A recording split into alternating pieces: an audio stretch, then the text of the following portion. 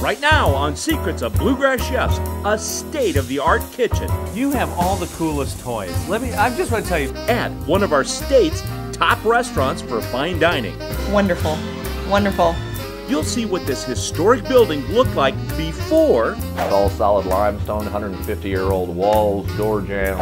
And what it took to bring it back to life as Corbett's An American Place. I mean, a lot of fun here at Corbett's American Place. From demolition, a big pile of rubble here, folks, to restoration. It's fantastic.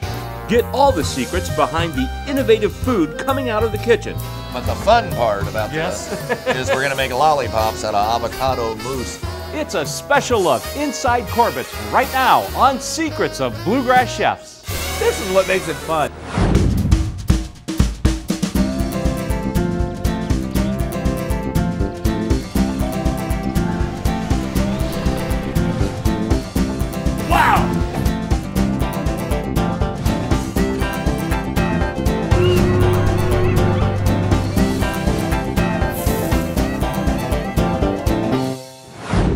Tim Laird with more Secrets of Bluegrass Chefs. This time, I'm sitting at the porch of what was Kentucky's first dairy farm. Now, it's one of the state's finest restaurants.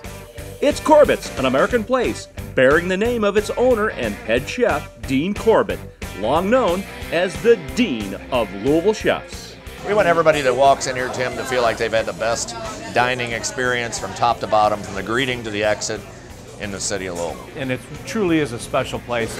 It's fabulous. The menu is always inventive, with new interpretations of classic dishes. Everyone is unique, different, and delicious. And everything is created with the finest quality ingredients, most of which come from right here in Kentucky. We have a gentleman out here actually in Prospect off Rose Island Road that's raising all our rabbits, all our chickens, uh, they, get some of the eggs, quail eggs. We bring in red wattle hogs from the people that own Blue Dog Bakery. They raise red wattle hogs. Local lettuces, cheeses, you name it. If it's grown in Kentucky, you'll probably find it here. And what better way to enjoy fresh local flavors than this? It's a stunning dining room in a building that dates back to the early 1900s. And it didn't always look like this. In fact, back in 2006, the home was in disrepair, in need of rescuing to say the least. That's when Chef Dino stepped in. And we were there when the challenging restoration began. What you see behind me is a house that was built in 1916 and was the original Von Allmen Dairy Ranch. A lot of history in this house. The original beadboard ceiling will be kept, as will the pillars. A big pile of rubble here, folks. The, the remainder of what was once the screen porch of the Von Allmen Dairy Ranch. This is actually going to be converted into one of two private dining areas for uh, private parties. It should hold anywhere between 8 and 12 people. This kitchen, certainly a wonderful kitchen by any standards. Quite a bit dated, of course, but you've got Sub-Zero and uh, some fine appliances here. This will be demolished and make room for the new kitchen. The new kitchen was envisioned to be state of the art and about 10 times bigger than the old one. And uh, this is all main kitchen, everything all along here. Main kitchen, main kitchen, very large kitchen. Addition's about 2,000 square feet, so it's a big, big addition. We got a long way to go, don't we, folks? The construction and restoration would take more than a year of hard work and painstaking attention to detail, but it all paid off in the end. We have uh, double convection ovens, Blodgett's, brand new, beautiful, everything brand new. A 45 gallon, gallon rectangular tilt skillet and a 40 gallon kettle. One beautiful thing about the tilt is it's all automated. This is kind of cool. This is the Globe mixer, fully automated with a little safety bracket on it. This is an ice cream maker from Italy, makes three gallons in uh, an hour. Of course, we have the Robot Coupe Industrial R4, which is just a monster little unit. This is what's called a salamander. So this is a tool which you would do, uh, which lights up and you can do things like uh, hot browns, French onion soup. Another cool tool in the Corbett's kitchen is what's called an anti-griddle. Instead of getting hot, it gets cold. Way below zero, in fact. Chef Dino is putting it to use right now as he prepares a one of a kind salad topped with an avocado lollipop. This is actually grown mâche. This is traditionally a French lettuce, but you don't see it grown locally, or you really never have until recently when Greg Graft at uh, Gra- uh, Grateful Green started growing this. Here's the mâche, of course, is lettuce, which is already uh, picked and clean. These come in growth pods, individual pods, where the uh, you know they stay alive. Basically, this is a living thing. We're gonna add our. These are pickled onions, straight onions, sauteed off, butter, little sugar, and red wine vinegar. That's it. These are beets from uh, a local farmer. We have Dave Gary, wonderful.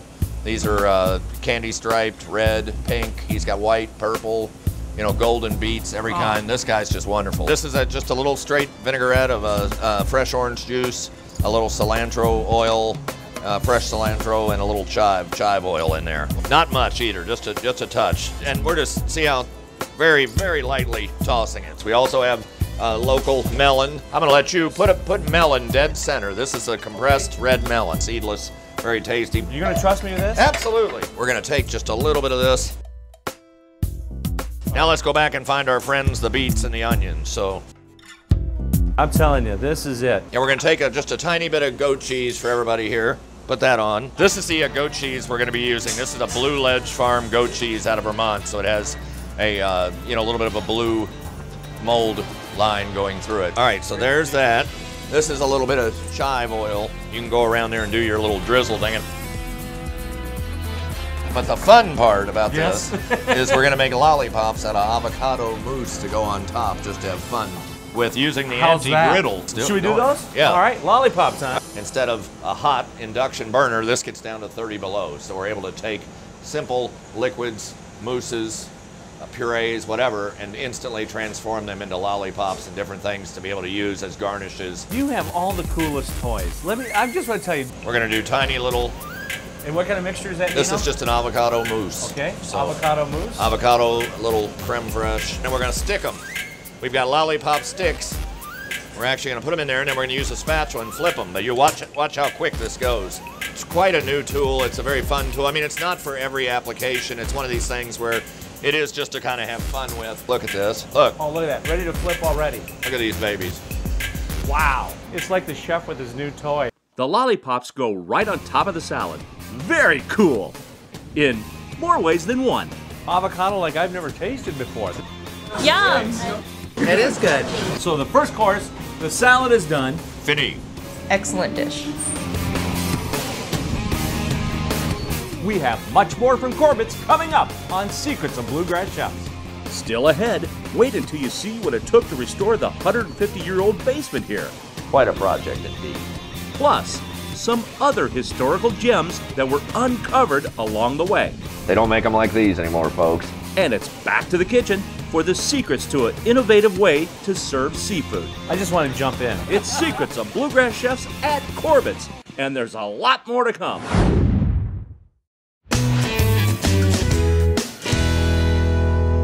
Tim Laird with you again with more Secrets of Bluegrass Chefs. This time, we're on the east side of Louisville at one of the finest standout restaurants in all of the Bluegrass. It's Corbett's, an American place built both on history and innovation. The kitchen is full of high tech tools used to make cutting edge cuisine, all under the direction of chef and owner Dean Corbett. In the dining room, it's a different story. The atmosphere takes you back to a time gone by. This building used to be the mansion of the Von Allmen Dairy Ranch, Kentucky's first working dairy operation. It took a lot to bring it back to its original luster, and we were there with Chef Dino throughout the restoration process. There's four or five original trees, maples, elms, and uh, sweet bay magnolias, which are all going to be trying. We're going to try and retain all of these trees and keep them here if possible, just because they're so beautiful. They need, of course, they need to be trimmed up a little bit. My goodness, this this room, a lot of historical significance. We've got 12 foot ceilings in here, 10 to 12 foot ceilings, beautiful crown molding. These walls are probably two feet thick, plus uh, all the the. Uh, I mean, it's amazing. It really is. This was the uh, the fuse box here at the house, which has the old porcelain screw-in fuses. Powers off, obviously. Otherwise, I'd have curlier hair than I already have. But uh, they don't make them like these anymore, folks. Fun stuff. Some of the hidden treasures we're finding here in the old house is there's plenty of exposed brick, which we're going to use in the uh, design. That's great old brick. The goal was to preserve as much history as possible in the house, and as you can see today, it's alive and well. The result of the restoration is really something to see. And the food coming out of the new kitchen, it's just as amazing. All right, I'm back here in the kitchen with Dino. Dino, what's going on now? Oh, fresh halibut now, Tim. Oh! Fresh halibut. Fresh halibut. Not quite as expensive version of sea bass, and also completely fresh all the time. Where Chilean sea bass, as you know, you have to get a lot of times now it's frozen at sea. I've cut Right. eight small portions of this uh, halibut. Uh, sea salt, pepper mix, so very lightly seasoning this, and we use a blend of uh, pomace and olive oil and an induction burner. You can actually put a towel under here or a piece of fabric and actually still saute things through the fabric and not have any heat issue with a fire or anything. Oh, wow. I mean, this is some beautiful fish. The trick with this, as you know, is when it comes up easy off the pan, it's done on that done. side. Yeah, it's done on that side. Done, you can do a little, you can do a little jiggle and see if you got any movement. The jiggle test. I jiggle quite a bit. I'm trying to lose weight. We're gonna leave these on there for just another second, then we're gonna remove them, and we're actually gonna finish the dish with the other ingredients we have. We've got a crust, a little sweet almond pine nut crust that's gonna go on top of the fish, and then it's gonna be baked. Here's our little nut mixture we're gonna take. We're gonna spread a little bit of that on each of these. There's honey in here, pine nuts. They're gonna go in a 325 degree oven for probably, uh, you know, five to seven minutes. All right, now this is a Vermont butter, straight, wonderful Vermont butter. This is not the light butter. This is the good this butter. is the real heavy duty, real deal. Yes, sir. Yeah, this is a little fresh minced shallots, a little fresh minced garlic that's been that's been cooked ahead. Okay, and there's olives, And then there are the olive Tomatoes. and tomatoes. little gherkins. We're gonna use a little bit of this chive oil and the vinaigrette for the deglazing. Also for deglazing, white wine. We're also gonna add a little bit of this and reduce this with these tomatoes and these olives. We got our wonderful Russian River Valley. Smell that. oh my oh, goodness. Oh, that is, oh my goodness. Talk about wonderful. Oh, I just want to jump in. We're gonna add in a little bit of a, a lobster stock and cream. along with some fresh squeezed Meyer lemon juice and butter. More of our fun we go. Mr. Butter there. Vermont. Mr. Cholesterol, Going Dino, in. they call me. Kicking it up. There we go. Might as All well. right. We're having fun. We have other goodies going into the sauce. Maine cold water lobster. Oh, Some chives for color. All right, meanwhile, look, here's a uh, roasted pepper puree. So we're gonna do, you know, for our for our fish on the bottom. Beautiful. Here is our one. We're gonna put our one in there. So here we go. Okay, plate up. We got a little bit of the uh, each of the tomatoes.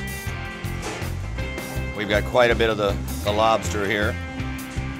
We're gonna put on, and then just this tiniest little bit of the sauce. Edible rose petals. Beautiful. So just simple, simple dimple. I'll tell you, for lobster on top of halibut, oh Can't go wrong, that baby. is Can't great. Absolutely. The flavors all work and it's just amazing. The pine nuts were delicious. The halibut was fixed just right. It's so fresh and tender and delicious. Very delicious. For more information on Corbett's and American Place or any other featured restaurants on Secrets of Bluegrass Chefs, log on to newlocaltv.com. And for more secrets from Chef Dino, stay tuned. He just continues to amaze me. Next, Kentucky raised pork that will take your taste buds to a whole new world of flavor. I wish we could cook our pork this way. It was delicious. You'll see how to do it at home, plus the amazing lore level at Corbett's. Then, All brick, dirt, and sand. And now, more secrets of Bluegrass Chefs behind the scenes at Corbett's next.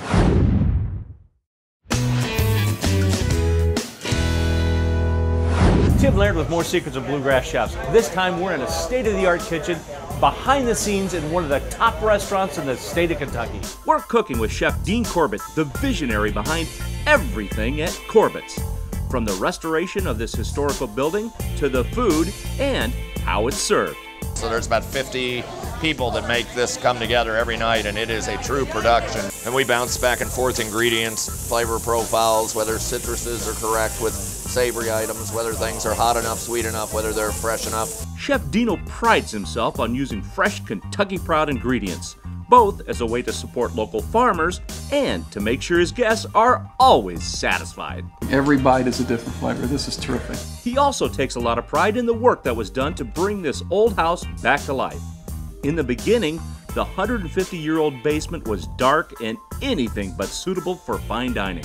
First time we came down here, the architect, the builder, the designer all said, I said, well, what do you think of the house? All three of them said the basement's the best part of the house. The first thing everyone saw, and there was a bit of a panic, was a snake skin hanging. Our little friend here, who obviously had some issues along the way, decided to cut tail, so to speak, and run. but if you look at these doors, there's quite a few original chains and bolts, and uh, it really is rather historical. Limestone, 150 year old walls, door jambs. The floors, all brick, dirt, and sand. I mean, we're basically dealing with, with dirt, and that's it. So they're gonna have to be filled in, sealed, and we're good to go. It took several months to complete, but look at it now. It feels probably like it did in the early 1900s with the addition of fine food and wine. The lower level offers its own kind of romance, from quiet dinners or special group events. I've never seen anything quite like it. And the same can be said about the food at Corbett's. This pork tenderloin, I've never seen anything like this, Chef. As I told you, the good folks over at Blue Dog Bakery are raising red wattle hogs. When they brought in these hogs, they're 350 pounds apiece. And what we were amazed to see is that all the pork belly and all the tenderloin and everything were bright red. And what they told us is that that is what good pork is supposed to be red, not white. Watch what Chef Dino does with this. He sears the pork medallions in a pan lined with oil. Lightly flouring on both sides, and then we're gonna sear them just like that. See, look, beautiful browning right off. Shake, see how they're moving? Perfect. See, I'm doing the sides too because I want to sear. So that's sear. another thing to do. You do all the sides? That's a secret. A lot of people don't do. They do the top, the bottom. You want to sear all this in because All the sautéing is the best way to do this. And look at that. I mean, this is looking like a mini fillet, basically. It does. That's the beauty of it. And we're going to put these also in a 350 degree Okay. oven. Behind you, we have that veal reduction in our big kettle here. Oh my so God, this is this the thing is uh, this is uh, and then the whole thing is reduced from 50 gallons down to three. Wow. What I've done is I've I've taken that the reduction and we're heating that up. But what we're, as a flavor component, we're adding in a little bit of red grape mustard. Oh, Are you okay. familiar with this? No. It looks like caviar almost. So it's a red grape must mustard. And then these are the morels, Oh. which have, have not been cooked, but they've been soaked. I've never seen a morel this size ever before. What do you think of these? I've got a, uh, I've- and the reason I'm saying they've been soaked is because you want to, you definitely want to check all mushrooms, wild mushrooms for sand, number one, and critters, number Those, two. little, those little bugs in there. We're gonna add in our morels. Five, six, seven, eight, nine. One for you. Here it is, Vermont butter coming back butter. into play. And we're just gonna put a few pieces of the asparagus in there, so let's do that as well. Or butter. I want this thing to be so rich. So let's bring our pork back out. Now you can look at this. Oh, wow. All these meats should rest a little bit. Yep. Made a little, kind of a little southwestern corn salsa. Corn relish? Yeah, Yeah, corn salsa. relish. So uh, uh, caramelized onions, roasted peppers, lots of cilantro, uh, fresh sweet corn, quite a bit of hot sauce. When we think about our plate up a little bit, we're gonna put our salsa on the bottom. The pork tops the corn, and then in comes the sauce with all its goodies. Asparagus, super nice morel, right on top. And then we did a little fried potato as well. Just for you, Timothy Laird. That that is pure heaven. It was so tender and delicious. The pork dish was very tender, something that I've never had before. And this flavor concept, it was really flavorful, really good. The pork was amazing. It was tender, the morel mushrooms combined with it. Mm-hmm. Excellent flavors all together. It was delicious. The pork was delicious.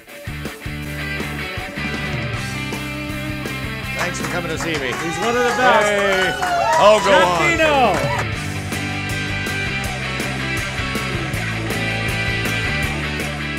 Thanks to Chef Dino and all the wonderful people here at Corbett's at American Place for hosting us today, and thank you for watching.